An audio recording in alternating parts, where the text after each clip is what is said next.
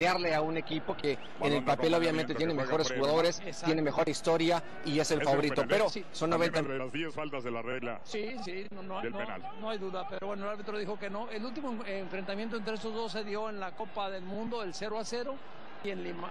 La actuación, para mí el primer tiempo del equipo mexicano el más malo que vi. Como jefe, y lo deja ahí en cortito para Felipe Luis. Viendo qué es lo peor que te puede pasar, ¿por qué no ahora sí acomodas el equipo para jugarle al tú por tú como Rebote de pelota. Y arranca con ella Fred. Y bailotea Fred. Y le mete Zambiña a Fred. Y viene a la derecha cerquita Danilo. Pica, frena, aguanta. Deja ahí con Dunga ahora presentándose en territorio y siendo mucho mejor que nosotros, Pablo. Yo nosotros como mexicanos. De entrada, Rohan y con el Tecatito Corona. Situaciones diferentes las que viven Enrique en cuanto a arqueros, México y Brasil. No, México parece estar bien, el árbitro dice que no. Ahora se mueve Elías. Y le deja paso a este Fred, 22 años. Y ahora Fred. Su equipo, el. Un abrazo para mi querido paisano Felipe Valenzuela y para mi querido Ernesto. Aparece el Jerry Flores, primero Marco Fabián. No controló bien. Fabián de la Mora. ¿no? Cinco minutos después cayó el 2 a 0. Sí.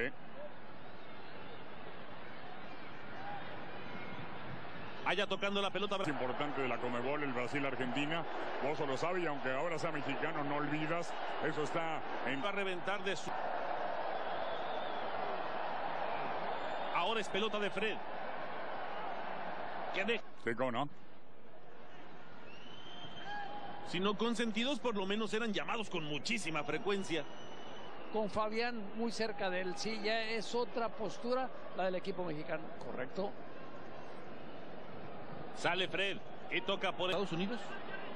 En San Antonio. Cuidado con esta. Arranca, sí, dentro del área. Fred. Y aparece Márquez. Sirve a, a Miguel y a Dunga de ensayo para lo que viene para los dos que es Copa América, pero sí, el partido ha venido menos y es lógico, ¿no? Con ocho movimientos. Colombia, mucha gente en el medio. Y ya se alista otro cambio para México. Y me parece que lo van a permitir ahora. Anacati Hernández. Había arrancado Güemes, Osuna y Corona en el medio campo de México. Hoy, en los últimos 15 minutos, Con el número 22. En su debut el día 14. cinco movimientos ya para Brasil. Carlos, sigue Salcedo, sigue, sigue, sigue. De Brasil eh, envía a Dunga al terreno de juego a Felipe Anderson con el número pela pressão do povo brasileiro após esse vexame, lembrando aquilo também que aconteceu em 1950, já agora fica essa recordação, na altura De Miguel Herrera hoy lo hace con Javier Güemes, jugador ya del América y Mario Osuna, el mono Osuna. Y yo creo que contra Bolivia, profe, va a ser diametralmente diferente. Y decías tú muy si esto mentalmente puede afectar en el arranque de Copa América. Es lo único que Sensibles, como ya lo mencionaremos poco a poco. No está Robinho por lesión, Marcelo, Luis Gustavo, la ausencia. Y muy bien también en espacio reducido, este te puede hacer diferente. esta vez se va el día ahí de George Corrales, rebotado. Sigue, Enrique, sigue. Holanda y Portugal, ¿no? De ahí brinca. Holanda y Francia. 10 de junio. 2 de la tarde del este, 1 del centro, 11 Pacífico. Alemania contra. Ahí el toque largo, largo que estaba metiendo Fred. Aquí viene Fred, encara Fred, bailotea Fred, toca atrás en el es caracolero, gambetero. Le gusta tener la pelota y encarar. Balón que tiene ahí Fred. El que tiene cintas en las dos muñecas, deja cortito. Qué Pero buen balón sí. de William, ¿eh? Eh, eh, tuvo que jugar dos veces contra el equipo brasileño y al final con gol. Lo decía muy bien Pablo, el Tecatito lo deja el piojo libre. Lo mismo ocurre con William, que aparece por derecha, por izquierda, tres cuartos de Aparece y parte al frente para ayudar a Tardelli, que es la única punta, y Fred más por la izquierda, pero sí con permutas permanentes. Porque ve carrileros que no han ido mucho, ¿eh? Ni George Corral. Aquí viene, esto es importante. Viene Fred, sigue Fred. La marca de Aldrete. Y saca de sí, ¿eh? Es en el centro y Tecatito por la derecha, así equilibra como está acostumbrado. Y los obliga a tocar, tocar lateral. Y la gente se acuerda de la goleada ante Alemania y empiezan a presionar aquí. En camilla que lo están valorando y por esa misma situación Dunga ya levantó a calentar a Fabinho. Así que Fabiño. pudiera- Siguiendo la transmisión. Ahí está, mira. Ahí. Esa es falta, ¿eh? Sí, Esa me parecía que era falta, ¿eh? a mí también. Sobre Corral, ¿no? A mí también. Profe, Sí, coincido con ustedes. Va por el hombre cuando se da cuenta que lo supera y va a intentar conectar la pelota con la cabeza o con la pierna. Felipe Luis limpiando bien el camino con buena técnica. Arranca con ella, viene con pelota Fred. Sigue Fred, Fred tocando las espaldas del hombre del gol. Felipe Coutinho, que otra vez manejándola ahí Fred. Fred le da la vuelta, encuentra a Danilo que ya se recuperó y está en la cancha. Danilo otra vez con Fred. Fred Constantemente. Balón de acompañamiento que juega Fred. Remate. Exacto. Ese era un penal, ¿eh? Sí. También una de las 10 faltas de la regla. Sí, sí, no, no, Del no- penal. no hay duda, pero bueno, el árbitro dijo que no. El último en- enfrentamiento entre estos dos se dio en la Copa del Mundo, el 0 a 0, y en Lima. La actuación, para mí el primer tiempo del equipo mexicano, el más malo que vi. Como jefe, y la deja ahí en cortito para Felipe Luis. Viendo qué es lo peor que te puede pasar, ¿por qué no ahora sí acomodas el equipo para jugarle al tú por tú como Rebote de pelota. Y arranca con ella Fred. Y bailotea Fred. Y le mete Zambiña a Fred. Y viene a la derecha cerquita Danilo. Pica, frena, aguanta. Deja ahí con Dunga ahora presentándose en territorio y siendo mucho mejor que nosotros, Pablo. Yo nosotros como mexicanos. De entrada, y con el Tecatito Corona. Situaciones diferentes las que viven Enrique en cuanto a arqueros, México y Brasil. No, México parece estar bien. El árbitro dice que no. Ahora se mueve Elías. Y le deja paso a este Fred, 22 años. Y ahora Fred. Su equipo, el. Un abrazo para mi querido paisano, Felipe Valenzuela y para mi querido Ernesto. Aparece el Jerry Flores, primero Marco Fabián. No controló bien. Fabián de la Mora. ¿no? Cinco minutos después cayó el 2 a 0. Sí.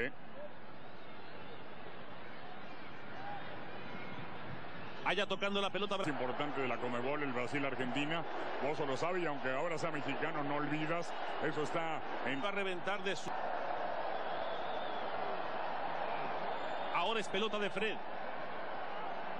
Que de... Seco, ¿no? Si no consentidos, por lo menos eran llamados con muchísima frecuencia. con Fabián muy cerca de él? Sí, ya es otra postura la del equipo mexicano. Correcto. Sale Fred y toca por Estados Unidos. En San Antonio. Cuidado con esta. Arranca, sí, dentro del área. Fred. México.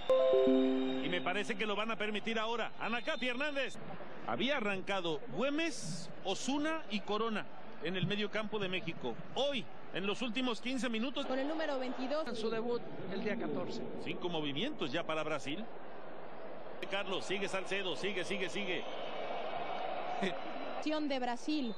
Eh, envía a Dunga al terreno de juego a Felipe Anderson con el número pela pressão do povo brasileiro após esse vexame, lembrando aquilo também que aconteceu em 1950, já agora fica essa recordação, na altura de Miguel Herrera, hoy lo hace con Javier Güemes, jugador ya del América, y Mario Osuna, el mono Osuna. Y yo creo que contra Bolivia, profe, va a ser diametralmente diferente. Y decías tú muy si esto mentalmente puede afectar en el arranque de Copa América. Es lo único que Sensibles, como ya lo mencionaremos poco a poco. No está Robinho por lesión, Marcelo, Luis Gustavo, la ausencia. Y muy bien también en espacio reducido, este te puede hacer diferente. esta vez se va el tiro ahí de George Corrales, rebotado. Sigue, Enrique, sigue. Holanda y Portugal, ¿no? De ahí brinca. Holanda y Francia. 10 de junio. 2 de la tarde del este, 1 del centro, 11 Pacífico. Alemania contra. Ahí el toque largo, largo que estaba metiendo Fred. Aquí viene Fred, encara Fred, bailotea Fred, toca atrás en la que es caracolero, gambetero. Le gusta tener la pelota y encarar. Balón que tiene ahí Fred. El que tiene cintas en las dos muñecas, deja cortito. Pero sí. William, ¿eh? Eh, eh, tuvo que jugar dos veces contra el equipo brasileño y al final con gol Lo decía muy bien Pablo, el Tecatito lo deja el piojo libre. Lo mismo ocurre con William, que aparece por derecha, por izquierda, tres cuartos de aparece y parte al frente para ayudar a Tardelli, que es la única punta, y Fred más por la izquierda, pero sí con permutas permanentes. Porque ven carrileros que no han ido mucho, ¿eh? Ni George Corral. Cuando aquí viene, esto es importante. Viene Fred, sigue Fred. La marca de Aldrete. ¿eh? Descansa Es en el centro y Tecatito por la derecha, así equilibra como está acostumbrado. y los obliga a tocar, tocar lateral. Y la gente se acuerda de la goleada ante Alemania y empiezan a presionar aquí. Lio en Camilla que lo están valorando y por esa misma situación Dunga ya levantó a calentar a Fabinho. Así que Fabiño pudiera. Siguiendo la transmisión. Ahí está, mira. Ahí. Esa es falta, ¿eh? Sí. Esa me parecía que era falta, ¿eh? A mí también. Sobre Corral, ¿no? A mí también. Profe. Sí, coincido con ustedes. Va por el hombre. Cuando se da cuenta que lo supera y va a intentar conectar la pelota con la cabeza o con la pierna. Felipe Luis limpiando bien el camino con buena técnica. Arranca con ella, viene con pelota Fred. Sigue Fred. Fred tocando las espaldas del hombre del gol. Felipe Cutriñe. Y otra vez manejándola ahí Fred. Fred le da la vuelta. Encuentra a Danilo que ya se recuperó y está en la cancha. Danilo otra vez con Fred. Fred constantemente. Balón de acompañamiento que juega Fred. Remate. Exacto. Ese era un penal, ¿eh? Sí. También una de las 10 faltas de la regla. Sí, sí, no, no, Del no- penal. no hay duda, pero bueno, el árbitro dijo que no. El último en- enfrentamiento entre estos dos se dio en la Copa del Mundo, el 0 a 0, y en Lima. La actuación, para mí el primer tiempo del equipo mexicano, el más malo que vi. Como jefe, y la deja ahí en cortito para Felipe Luis. Viendo qué es lo peor que te puede pasar, ¿por qué no ahora sí acomodas el equipo para jugarle al tú por tú como Rebote de pelota. Y arranca con ella Fred. Y bailotea Fred. Y le mete Zambiña a Fred. Y viene a la derecha cerquita Danilo. Pica, frena, aguanta. Deja ahí con Dunga ahora presentándose en territorio. Y siendo mucho mejor que nosotros, Pablo. Y nosotros como mexicanos. De entrada, profe. Y con el Tecatito Corona. Situaciones diferentes las que viven Enrique en cuanto a arqueros, México y Brasil. No, México parece estar bien. El dice que no. Ahora se mueve Elías. Y le deja paso a este Fred. 22 años. Y ahora Fred. Su equipo, el. Un abrazo para mi querido paisano. Felipe Valenzuela y para mi querido Ernesto. Aparece el Jerry Flores, primero Marco Fabián. No controló bien. Fabián de la Mora. ¿no? Cinco minutos después cayó el 2 a 0. Sí.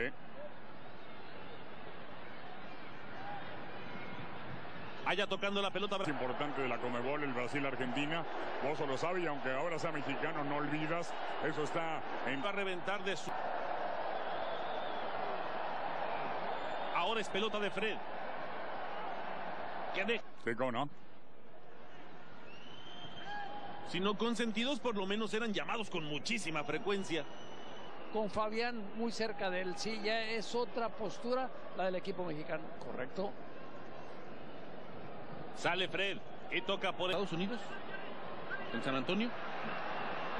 Cuidado con esta. Arranca, sí, dentro del área. Fred. Y aparece Márquez. Sirve a, a Miguel y a Dunga de ensayo para lo que viene para los dos es Copa América, pero sí, el partido ha venido menos y es lógico, ¿no? Con ocho movimientos. Colombia, mucha gente en el medio. Y ya se alista otro cambio para México. Y me parece que lo van a permitir ahora. Anacati Hernández. Había arrancado Güemes, Osuna y Corona en el medio campo de México. Hoy, en los últimos 15 minutos, Con el número 22, En su debut el día 14. cinco movimientos ya para Brasil. Carlos, sigue Salcedo, sigue, sigue, sigue. de Brasil.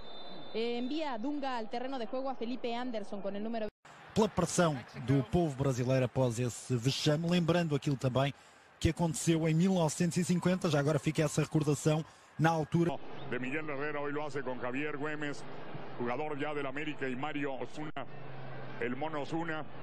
Y yo creo que contra Bolivia, profe, va a ser diametralmente diferente. Y decías tú muy si esto mentalmente puede afectar en el arranque de Copa América. Es lo único que Sensibles, como ya lo mencionaremos poco a poco. No está Robinho por lesión, Marcelo, Luis Gustavo, la ausencia. Y muy bien también en espacio reducido, este te puede hacer diferente. esta vez se va el tiro ahí de George Corrales, rebotado. Sigue, Enrique, sigue. Holanda y Portugal, ¿no? De ahí brinca. Holanda y Francia, 10 de junio. 2 de la tarde del este, 1 del centro, 11 Pacífico. Alemania contra. Ahí el toque largo, largo que estaba metiendo Fred. Aquí viene Fred, encara Fred, bailotea Fred, toca atrás en el que es caracolero, gambetero. Le gusta tener la pelota y encarar. Balón que tiene ahí Fred. El que tiene cintas en las dos muñecas, deja cortito. Pero sí. de William, ¿eh? Eh, eh, tuvo que jugar dos veces contra el equipo brasileño y al final con gol. Lo decía muy bien Pablo, el Tecatito lo deja el piojo libre. Lo mismo ocurre con William, que aparece por derecha, por izquierda, tres cuartos Aparece y parte al frente para ayudar a Tardelli, que es la única punta, y Fred más por la izquierda, pero sí con permutas permanentes. Porque ven carrileros que no han ido mucho, ¿eh? Ni George Corral. Cuando aquí viene, esto es importante. Viene Fred, sigue Fred. La marca de Aldrete. Saca de esquina. Es en el centro y Tecatito por la derecha. Así equilibra como está acostumbrado. Nancy los obliga a tocar, tocar lateral y la gente se acuerda de la goleada ante Alemania y empiezan a presionar aquí. En Camilla que lo están valorando y por esa misma situación Dunga ya levantó a calentar a Fabiño.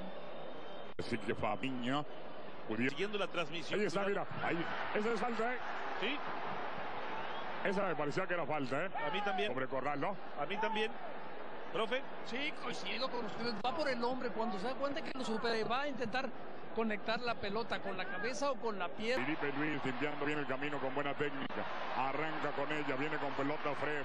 Sigue Fred, Fred tocando las espaldas del hombre del gol. Felipe Coutinho, que otra vez manejándola ahí Fred. Fred le da la vuelta, encuentra a Danilo que ya se recuperó y está en la cancha. Danilo otra vez con Fred. Fred Constantemente. Balón de acompañamiento que juega Fred. Remate. Exacto. Ese era un penal, ¿eh? Sí, También de las 10 faltas de la tres. El penal. no hay duda. Pero bueno, el árbitro dijo que no. El último enfrentamiento entre estos dos se dio en la Copa del Mundo, el 0 a 0 y en Lima. La actuación, para mí el primer tiempo del equipo mexicano, el más malo que vi. Como jefe, y la deja ahí en cortito para Felipe Luis. Viendo qué es lo peor que te puede pasar. ¿Por qué no ahora sí acomodas el equipo para jugarle al tú por tú como Rebote de pelota. Y arranca con ella Fred. Y bailotea Fred. Y le mete Zambiña a Fred. Y viene a la derecha cerquita Danilo. Pica, frena, aguanta. Deja ahí con Dunga ahora presentándose en territorio y siendo mucho mejor que nosotros, Pablo. Digo, nosotros como mexicanos. de entrada, y con el Tecatito Corona. Situaciones diferentes las que viven Enrique en cuanto a arqueros, México y Brasil. No, México parece estar bien. Lo dice que no. Ahora se mueve Elías. Y le deja paso a este Fred, 22 años. Y ahora Fred. Su equipo, el. Un abrazo para mi querido paisano, Felipe Valenzuela y para mi querido Ernesto. Aparece el Jerry Flores, primero Marco Fabián. No controló bien. Fabián de la Mora. ¿no? Cinco minutos después cayó el 2 a 0. Sí.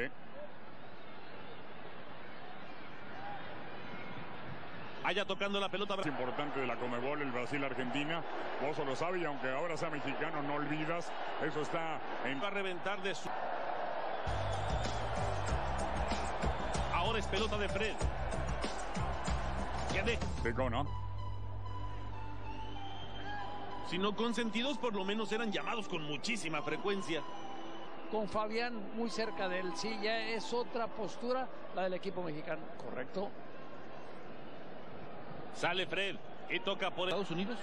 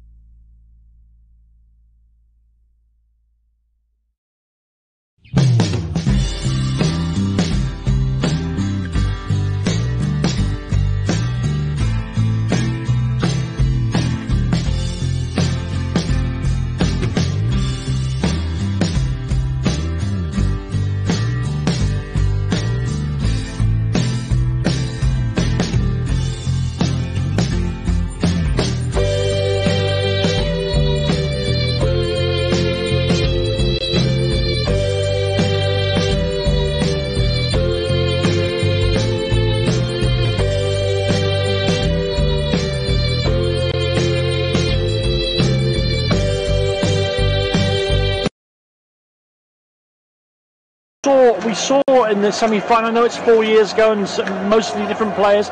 We saw that Brazil allowed themselves to become over-involved, over-emotional uh, before that semi-final against Germany. How do you, as a group of players and as individuals, I mean, is it down to the individual to focus on what matters and not get carried away with these enormous occasions? But I think that's something that they've they've always had Brazil. If anything, they've been too laid back, you know, in, in the really big games. And I think uh, in the last World Cup they were they were wanting to enjoy the game in the moment and, and the spectacular place that they were, rather than get the job done, Danny. You know, but the, today we will see Brazil with the ball and they'll be free.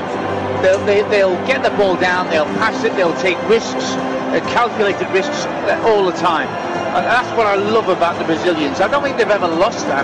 They might have lost the individual greatness that sometimes they've had. They might have gone too far in terms of attacking rather than placing an importance on defence. But they've always played the game in the right way for me. If everybody played that way, I think it'd be a, a bigger spectacle. It might be a bit boring to a certain degree because what they do or what they have done in the past is play the game like nobody else has. They've backed the game of football better than any other country in the history of the game. I will miss Marcelo for all his eccentricity at left wing back, left wing, left back, whatever he's supposed to be. Will the team miss him? Yeah, but I think they, they're not reliant on any one player. I think if Neymar was the player, I think they would they would cope with that. Look, uh, Danny, I, I, played against the, the, Brazil side that you were talking about early on, the 1981-82 side. Oh my God! It was unbelievable. You know, they they, they just used to interact. You'd end up with a, with a right winger that, or a right back that would end up playing centre forward against you. They didn't play by normal rules, and there's still an element of that. Although I think now the structure of the team is much more much more set. But I, I, I just I can't wait to ever see the play. I think the, this game today I've been looking forward to for for a while now. As soon as I heard they was going to be doing it, because they are the team, and when they play well, Danny, they play better than any other country. That, that's it. But uh, they don't always guarantee you that. But what they will guarantee is they'll always attack first and foremost. I didn't really agree with what Martin said early on. They've always done that. In some ways, you know, ridiculously. You know, that they, they, will will attack too much. But today we will see Brazil attacking. What, what, what are Mexico going to do? Are they going to sit? Are they going to go? I'd love to think they're going to go. But if you do go toe to toe with Brazil, you are asking for trouble, Danny. Thank you, Alvin. And the players are making their way onto the pitch. Uh, of course, Brazil rotate their captaincy, so Thiago Silva leads the team out today. Ochoa, Guillermo Ochoa of the, the goalkeeper playing in his third World Cup in Mexico leads them out as they the crowd begin to understand the players. They're just appearing out now onto the grass in time for the ceremonials and the national anthems, which of course is my cue to zip it and hand you over to your commentary team for Brazil against Mexico. You've already heard from your expert summarised in the form of the former England centre half Alvin Martin, and your match commentator. The next voice you'll hear is Adam Bridge. Thank you, Danny. What an occasion in Samara. The roof here is around about 65 metres high. It is a cauldron filled full of noise from Mexicans and Brazilians who have filled this stadium to capacity for what promises to be one of the ties of the last 16. The ceremony is about to begin before we kick off, and we will start as ever with the national anthems, and we will begin with Brazil.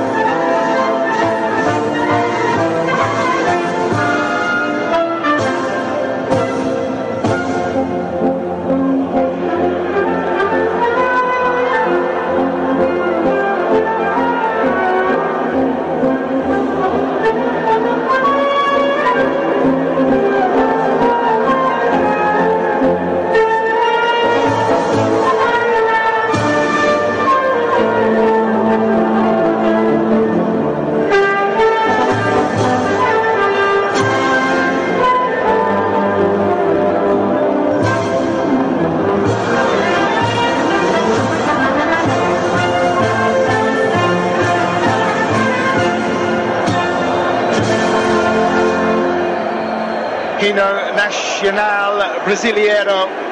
And here comes the second verse, which is always sung a cappella by the Brazilian fans. So they're not allowed a second verse by FIFA regulations. They'll continue, but the Mexican national anthem may well begin underneath them.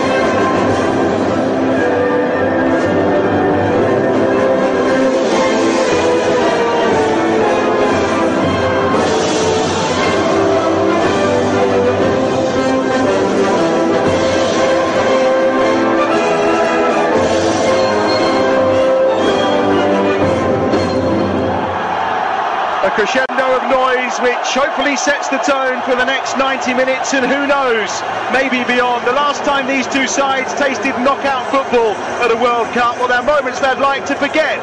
Brazil, of course, have the motivation and the desire to put right the wrongs from four years ago when they were defeated by Germany by seven goals to one in their own back garden. While for Mexico, well, last time round they were ahead of Holland entering the final stages. In fact, there were just minutes to go in the round of 16 four years ago. Eventually, though, they were beaten in added time by two goals to one. Neymar is the latest of the World Cup poster boys to enter the round of 16. We all know what's happened to those who've gone before him. Surely it can't happen again. He sits within this Brazilian side. There is one change from the team that were victorious over Ser- uh, Serbia last time out, and that's Felipe Luis, who starts in place of Marcelo, whose back spasm is not sufficiently recovered enough for him to start. So Alisson's in goal, the back four of Felipe Luis, Miranda, Thiago Silva, Fagner, then the three in midfield we think of Paulinho, Casemiro, and the man of the tournament so far from Brazil, Philippe Coutinho, with then Neymar and Willian providing the support to Gabriel Jesus. As I mentioned earlier, Paulinho eight goals under Tite since he took over as Brazilian coach. And maybe a little warning to Neymar, who shares his birthday with Ronaldo. He'll be hoping that he doesn't suffer the same fate as the man from Real Madrid. As for and that's because Hugo Moreno, oh sorry, Hector Moreno is suspended and Leon